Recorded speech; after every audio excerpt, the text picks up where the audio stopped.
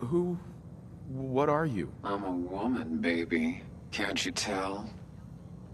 You certainly look like a woman, yes. And that's all that matters, right?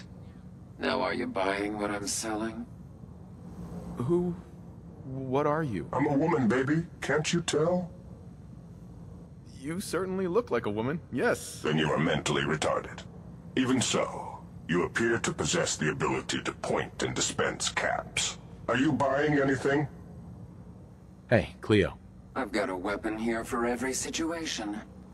Hunting, protection, cold-blooded murder, hot-blooded murder. Hey, Rhombus. With my weapons, you will crush your enemies, see them driven before you, and hear the lamentation of their women.